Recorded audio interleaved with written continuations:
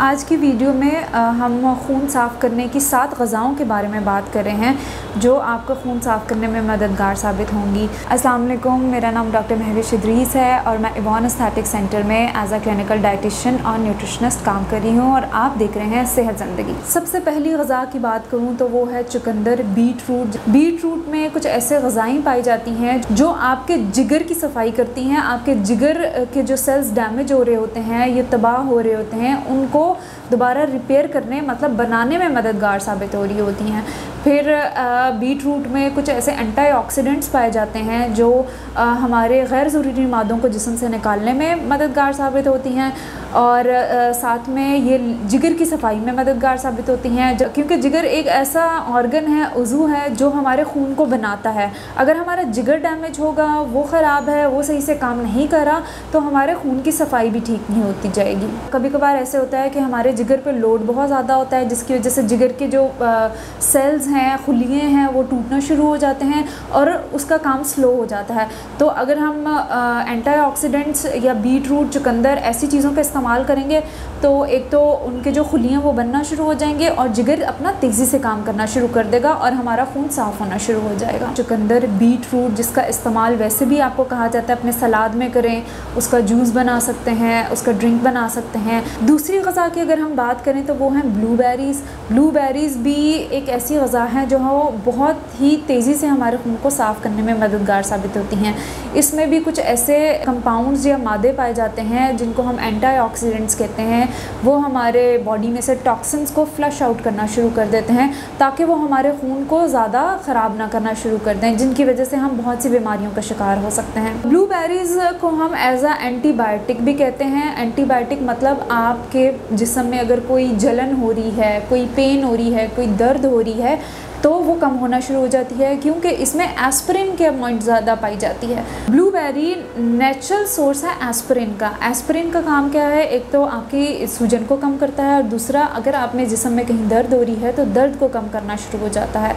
Blueberries का एक काम ये भी है कि वो हमारे यूरिनरी ट्रैक जो हमारे पेशाब की नाली है, उसमें कुछ ऐसे बैक्टीरियाज होते हैं जिसकी वजह से आपको इन्फेक्शन हो सकता है। तो उसकी मदद से हमारे जो पेशाब की नाली है, उसमें जो बैक्टीरिया बन रहा है, वो भी निकलना शुरू हो जाता है। तो उसकी वजह से हम बहुत से इन्फेक्शन से बच सकते हैं, क्योंकि इन्फेक्शन होगा तो हमारा खून गंदा होना शुरू हो जाएगा। तीसरी और बहुत अहम गज़ा की अगर मैं बात करूँ तो वो है लहसन गार्लिक जिसका इस्तेमाल हर घर में होता है और रोज़ाना होता है।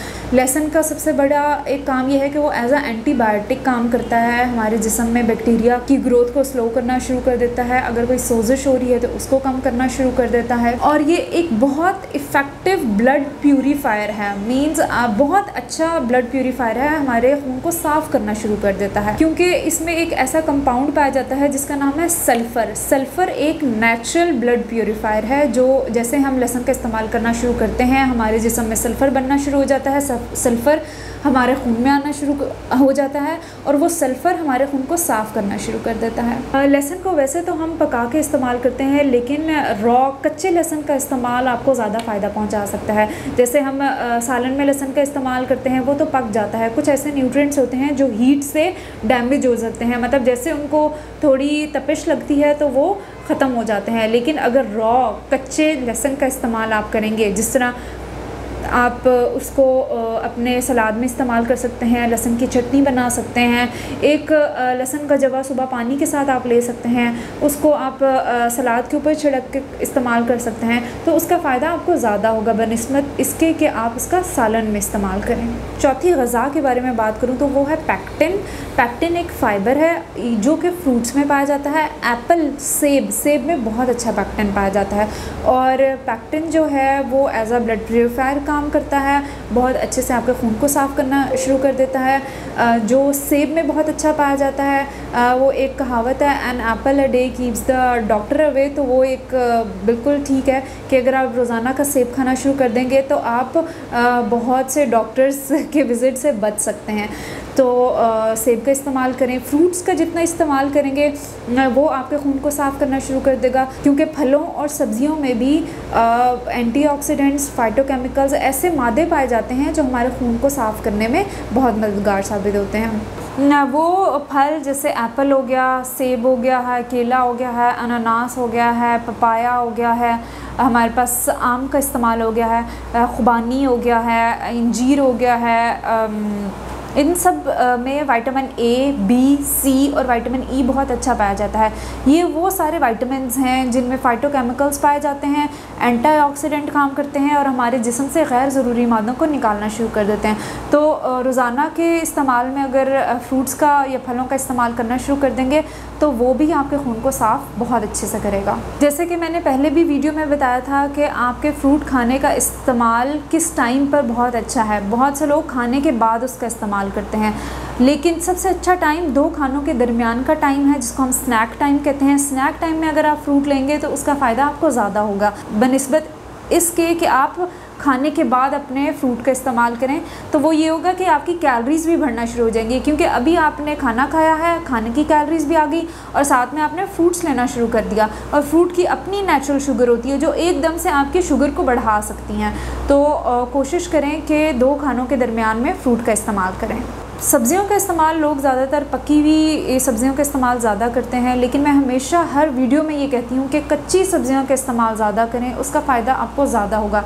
क्योंकि कुछ ऐसे गज़ाएँ होती हैं जो हीट से ख़त्म हो जाती हैं, जैसे उनको तपश लगती है, वो ख़त्म हो जाती हैं। जैसे विटामिन सी हो गया है, वो हीट प्रोटेक्टिव नहीं है, जैसे हीट लगती है, वो चला जाता है और कुछ ऐसे केमिकल्स हैं जो कि ख़त्म हो जाते हैं, जिसमें आप सलाद का इस्तेमाल कर सकते हैं, गाजर का इस्तेमाल कर सकते हैं, टमाटर का इस्तेमाल कर सकते हैं आप खीरे का इस्तेमाल कर सकते हैं बंद गोभी का इस्तेमाल कर सकते हैं। हर सीज़न में कोई ना कोई ऐसी सब्ज़ी होती है जो आप कच्ची जिसको खा सकते हैं और सलाद का इस्तेमाल तो हमेशा मैं कहती हूँ, हर खाने के साथ करें, क्योंकि जो कच्ची सब्ज़ियाँ और फल होते हैं, उनमें अच्छा वाइटमिन पाए जाते हैं पोटेशियम पाया जाता है मैग्नीशियम पाया जाता है और साथ में लाइकोपिन पाया जाता है। ये वो सारी गज़ाएँ हैं जो आपके खून को भी साफ़ करती हैं एज आ एंटीऑक्सीडेंट काम करती हैं और गैर ज़रूरी मादों को हमारे जिसम से खारिज करने में मददगार साबित होती हैं। पाँचवीं गज़ा वो भी हम हमेशा खाने में इस्तेमाल करते हैं, जो है हल्दी, टर्मेरिक टर्मेरिक की एंटी माइक्रोबियल और एंटी बैक्टीरियल प्रॉपर्टीज़ हैं। अगर आपने सुना हो, किसी को कोई ज़ख़म भी हो जाता है तो उसके ऊपर हल्दी का लेप लगाया जाता है, क्योंकि ये सोजिश को कम कर रही होती है और कुछ ऐसे बैक्टीरियाज होती हैं, उनके ग्रोथ को कम करना शुरू कर देती हैं। तो अगर इसका खाने में आप इस्तेमाल करेंगे तो आपको बहुत फ़ायदा होगा। हम लोग हल्दी का इस्तेमाल खाने में तो करते हैं, लेकिन हमेशा मैं ये कहती हूँ कि सोने से पहले अगर नीम गर्म दूध में अगर हल्दी का इस्तेमाल करेंगे तो वो भी आपके लिए बहुत अच्छा साबित होगा, आपके खून को साफ़ करने में मददगार साबित होगा। अगर आप कहवा बनाती हैं तो कहवे में भी अगर एक चुटकी हल्दी का इस्तेमाल करें तो उससे भी आपको बहुत फ़ायदा पहुँच सकता है। जो एक एक्टिव इंग्रेडिएंट है हल्दी का, वो है करक्यूमिन करक्यूमिन का काम ये है कि वो हमारे खून को साफ़ करता है और curcumin as a natural blood purifier काम कर रहा है। छठी गज़ा कैबेज बंद गोभी इसका इस्तेमाल अगर आप करेंगे तो भी आपको बहुत फ़ायदा होगा। सलाद में इस्तेमाल कर सकते हैं आप इसको इसको खाने में इस्तेमाल कर सकते हैं। इसका जूस बना सकते हैं, इसका सूप बना सकते हैं, क्योंकि इसमें भी वही सारी गज़ाएँ पाई जाती हैं जो आपके खून को साफ़ करती हैं। अगेन वही बात करूँगी कि कोशिश करें कि फलों और सब्ज़ियों को पकाने की बजाय कच्ची सब्ज़ियों का इस्तेमाल करें। जैसे अभी मैंने बंद गोभी का बोला है तो बंद गोभी का अगर कच्चा इस्तेमाल करेंगे तो उसका फ़ायदा आपको ज़्यादा होगा। जैसे सलाद में काट के आपने इस्तेमाल कर लिया, इसका जूस बना लिया। सातवीं गज़ा जो कि सबसे अहम है और एज आ डाइटिशन या न्यूट्रिशनिस्ट मेरे लिए सबसे इंपॉर्टेंट गज़ा ये है, जो है पानी क्योंकि इसका रोल सबसे ज़्यादा है आपके खून को साफ़ करने में। जितना अच्छा पानी पियेंगे, उतना अच्छा आपका खून साफ़ होना शुरू हो जाएगा। पानी एक ऐसी गज़ा है जो बहुत सी बीमारियों से बचाती है। वो क्यों? क्योंकि वो आपको खून को सबसे ज़्यादा साफ़ करने में मददगार साबित होती है। हमेशा डाइटिशियन या न्यूट्रिशनिस्ट को आपने देखा होगा, वो पानी के इस्तेमाल पे सबसे ज़्यादा फोकस रखती हैं। हमेशा वो ये कहती हैं जब भी उनके पास कोई भी पेशेंट आता है, वो सबसे पहले ये पूछती हैं कि आप पानी का इस्तेमाल कितना करते हैं? क्योंकि पानी का कम इस्तेमाल आपको बहुत से बीमारियों की तरफ़ लेके जाता है और बहुत से नुकसान दे सकता है। इसलिए पानी का जितना अच्छा इस्तेमाल करेंगे, आपका खून उतना अच्छा साफ़ होता जाएगा। खून साफ़ होगा तो आप बहुत सी बीमारियों से बच जाएँगे। अब पानी का इस्तेमाल वैसे तो एक नॉर्मल बंदे के लिए आठ से बारह ग्लास ही होता है कि उतना पानी का इस्तेमाल करें।